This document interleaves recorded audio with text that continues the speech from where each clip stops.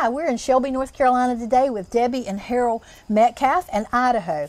And Idaho has a very interesting story that I can't wait for you guys to hear. Debbie, tell us a little bit about Idaho and her journey.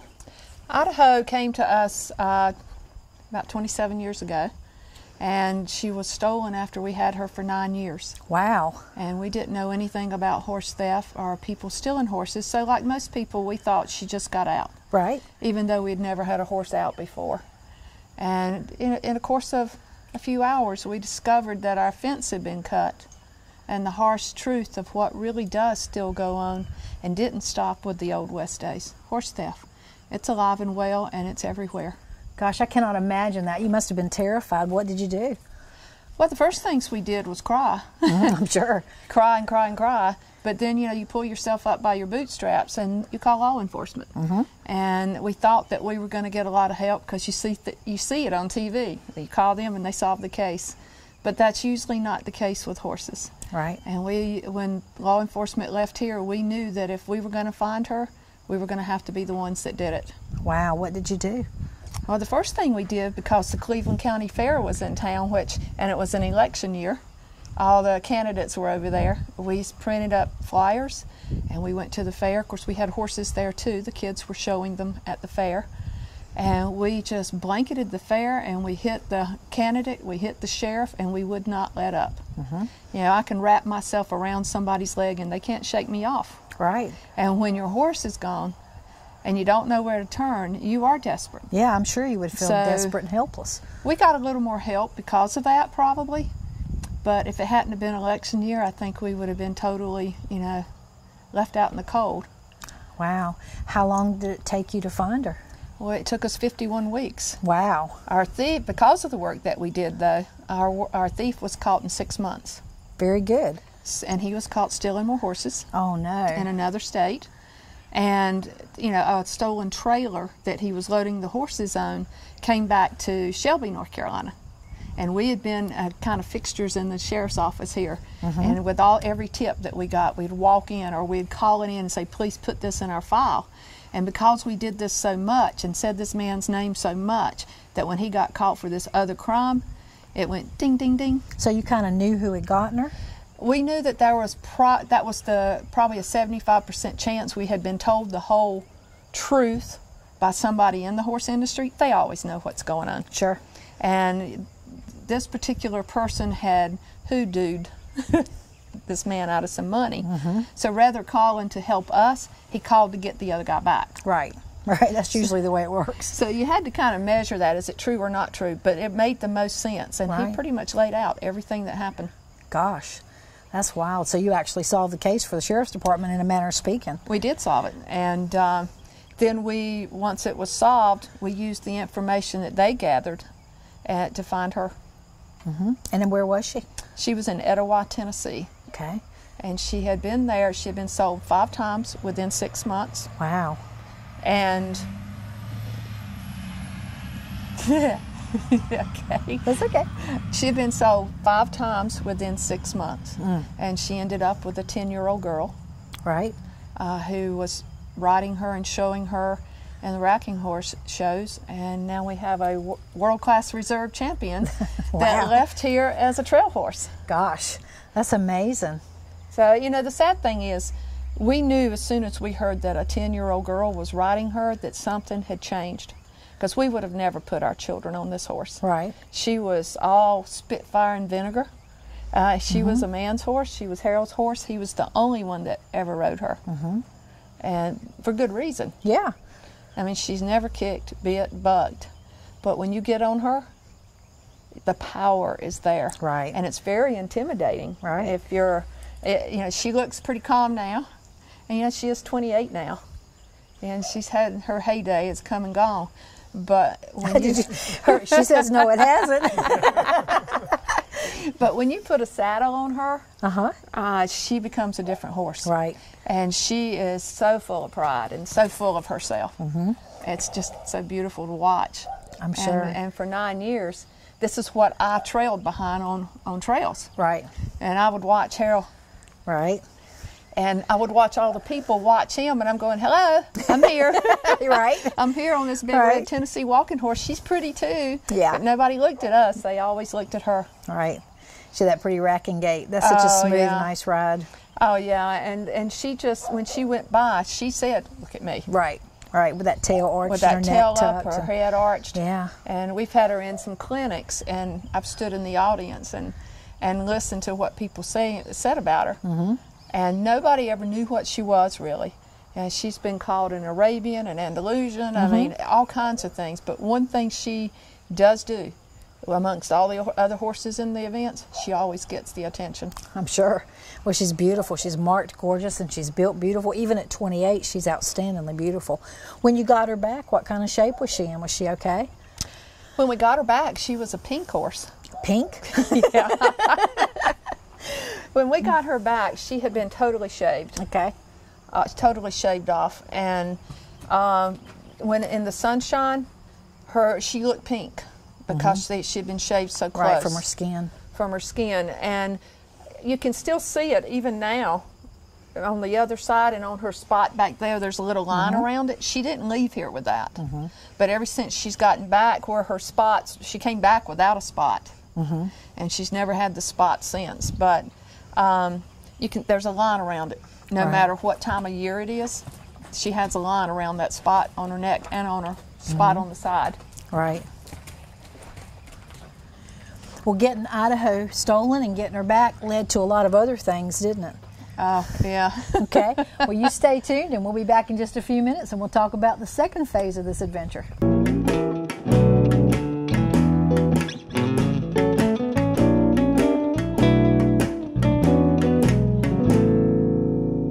People from around the Triangle come to Carolina Barbecue of Garner off Highway 70 because they know what they'll get authentic Eastern North Carolina chopped barbecue, Southern fried chicken, hush puppies, Brunswick stew, and more. But did you know that they'll come to you? For your next backyard party, company event, graduation party, weddings, rehearsals, or any other occasion, you bring the people, and Carolina Barbecue of Garner will bring the pig. Call 773 0222.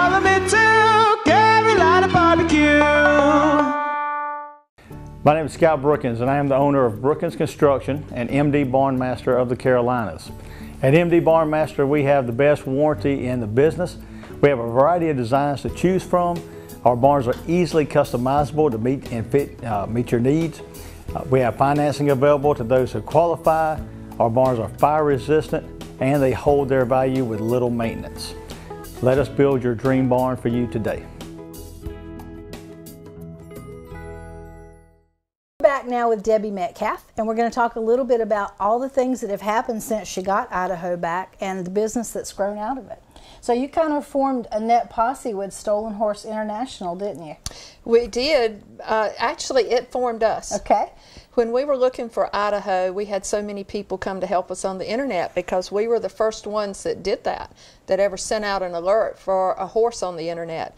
And this whole group of people started coming to help us and saying, if you help us, we'll help you because our horses have been stolen too. And we're going, wow.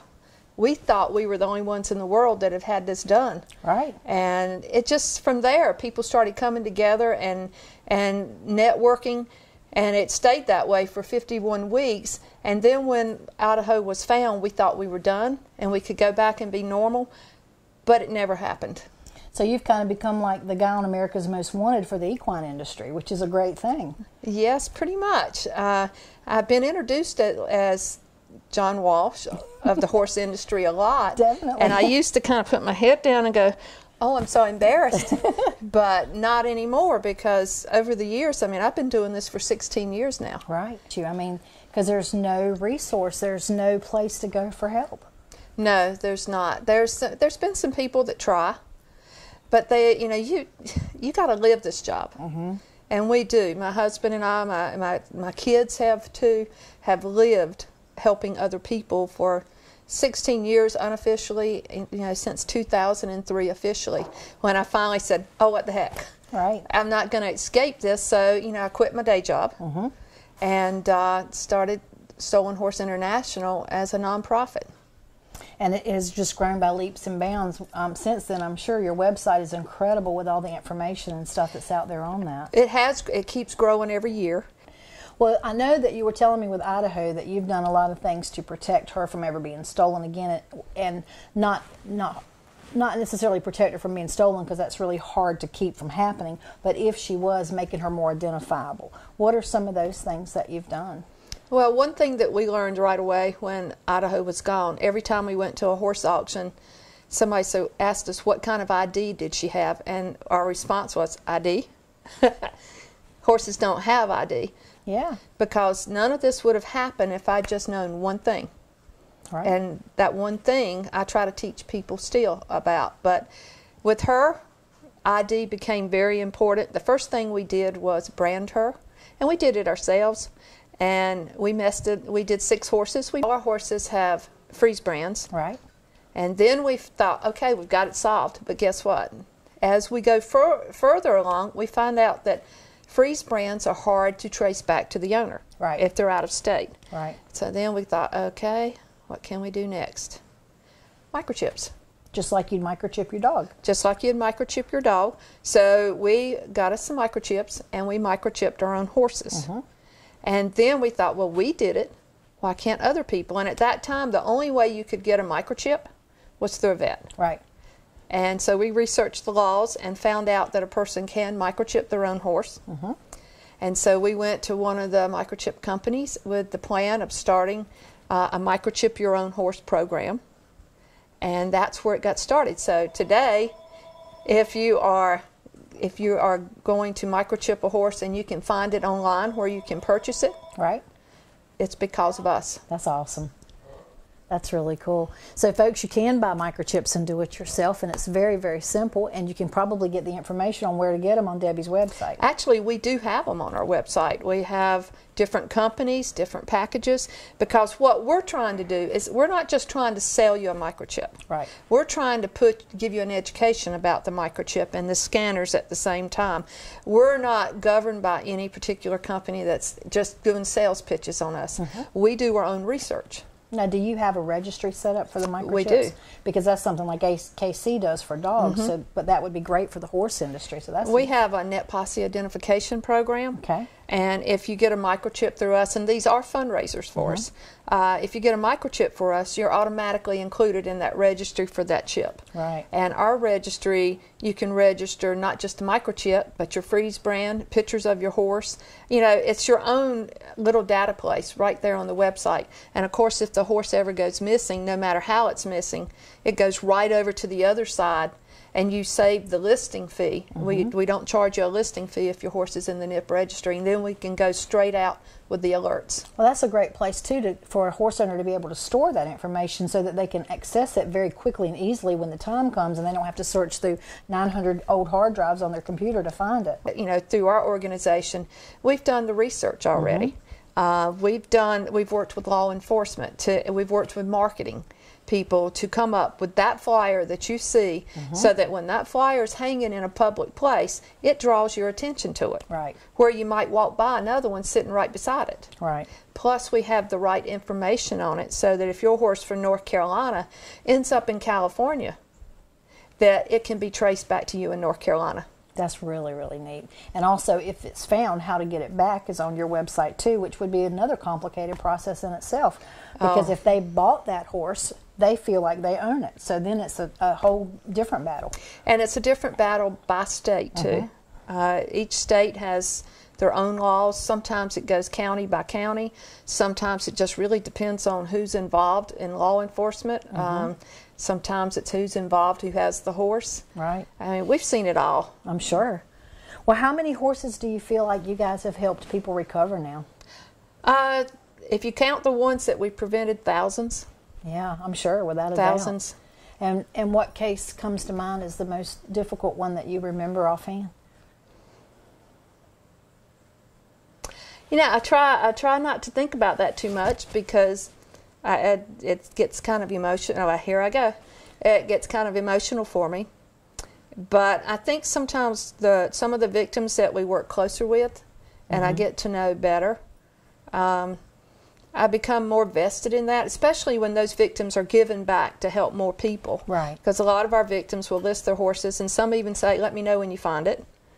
Uh, and some will come back and um, go, "Well, I'm looking for my horse. How can I help look for other people's horses too?" Right. And so those people, those stand out. And I guess the one that stands out the most is Mojito. Mojito's carbon copy. The horse is from Missouri. I know he's out there. He's a black and white spotted Paso. We've had tips on him, and we get close, but we can't get him. Right. And I've worked with the owner, uh, and she's been in the booth with me. She's come from all, all the way from Missouri to Tennessee to North Carolina uh, to other states to help me. She pays it forward to other victims. Right. So that one, and probably the two polo ponies from that were stolen with their truck, their trailer, and sixty thousand dollars worth of tack. Wow. Uh, the truck was later found in Texas. And we thought we would be able to go back with the leads on that. Mm-hmm. But the police in Texas were great. The police in Florida were not so great. Right. And so we lost the lead. So those are, you know, an older case and a newer case. But because I'm so close to the victims, I'm more vested in that. I can tell you guys about a personal experience that I had with Debbie that she probably doesn't even know I, I was involved in. I live in Little Middlesex, North Carolina, which is a thriving metropolis of about 800 people, maybe on a good day. And a lady in the neighborhood had a very pregnant horse that she woke up one morning and it was gone, completely gone. The fence wasn't down, there were no tracks, there was no evidence of the horse walking away out in the country in a neighborhood where she knew everybody and had lived there all of her life. And um, we, we got in touch with Debbie, and she suggested the things that we do, which was really put a lot of heat in the very local community. Flyers, Craigslist, the law enforcement, all the horse owners in the area that we knew, we took flyers to their barns. And the girl kind of thought she knew who took it because that person had tried to buy it and she didn't want to sell her. So, because we turned up the heat, that horse turned up three days later at a construction site tied to a fence post. so, if it hadn't been for you, though, with that great advice, that horse would have never been found.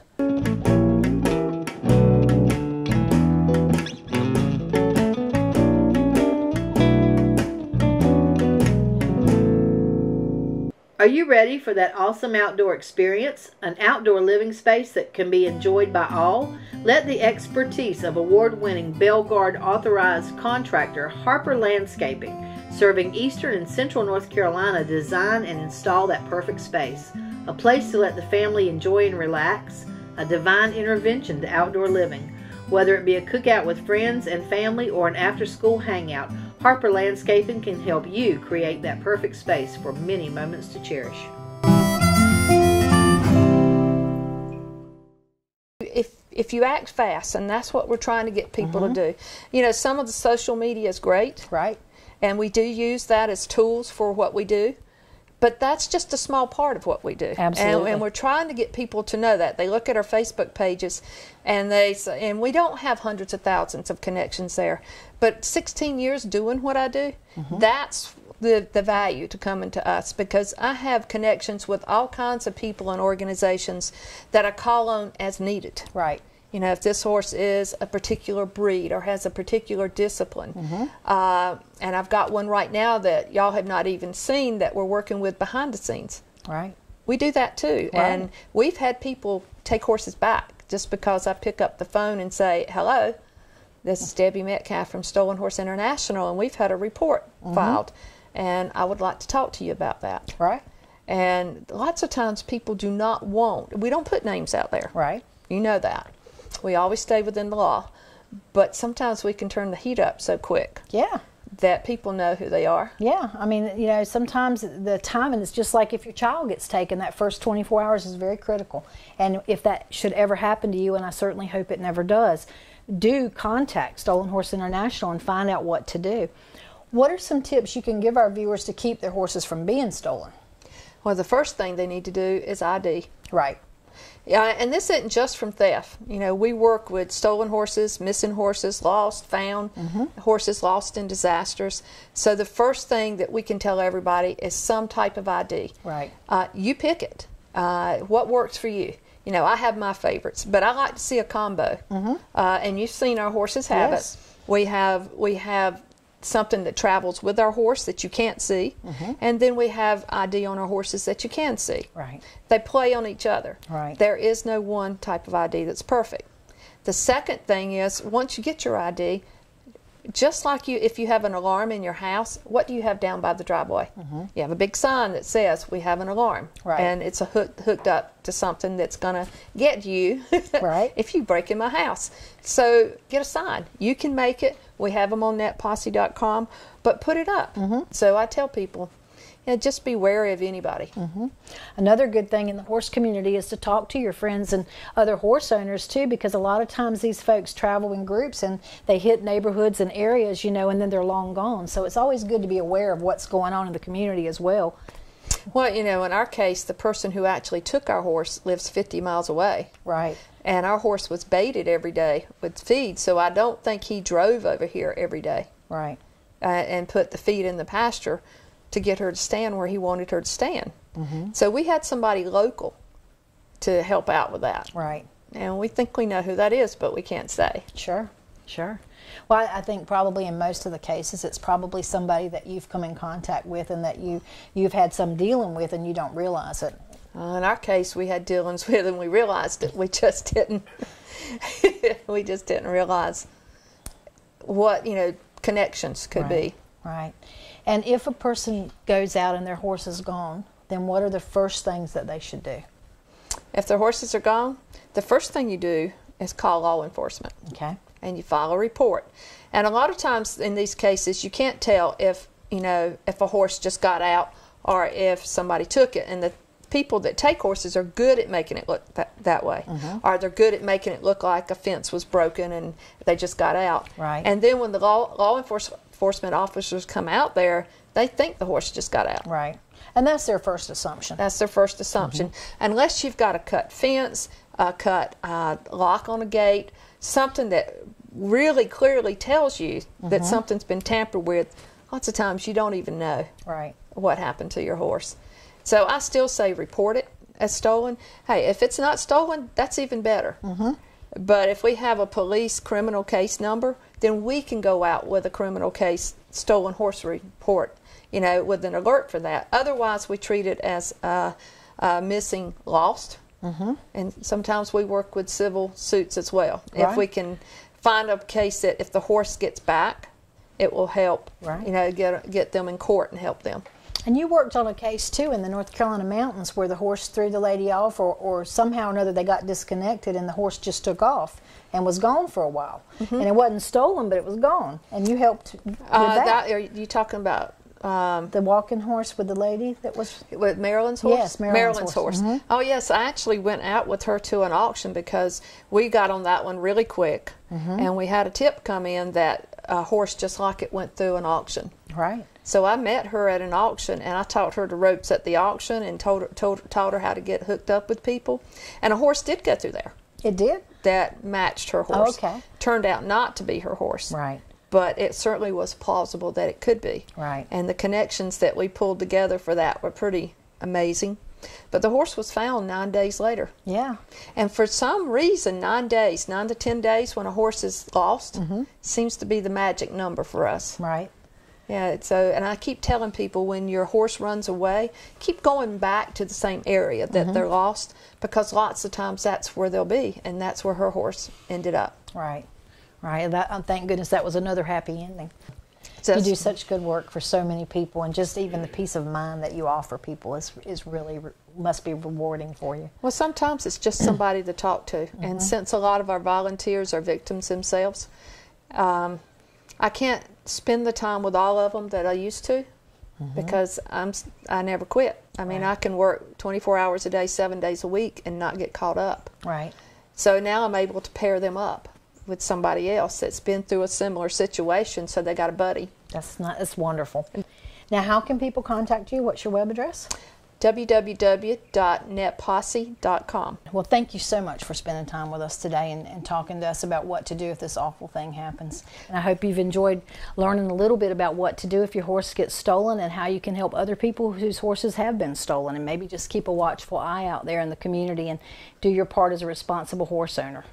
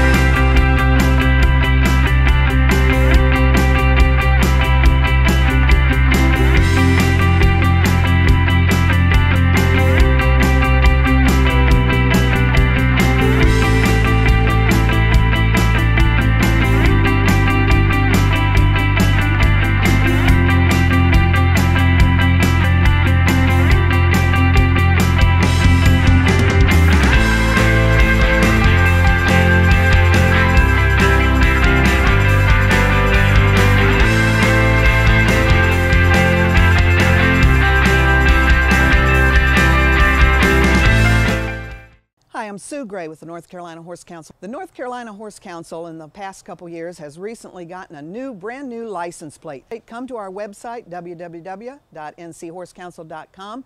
Click on that beautiful plate, takes you right to the Department of Motor Vehicles, and you can order that plate and have it on your vehicle tomorrow. So why don't you stand beside me, come and join the herd, and be a member of the North Carolina Horse Council and take advantage of the many benefits that it has to offer you and your horse. And let's ride the trail together.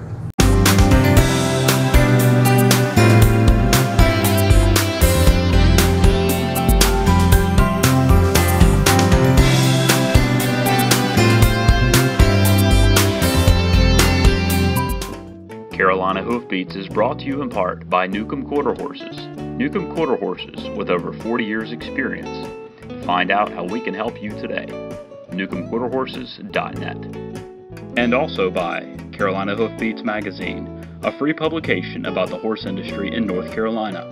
Catch up on the latest issue at CarolinaHoofbeats.com. And also by Southeast Equine Magazine, a free publication about the horse industry in the southern United States.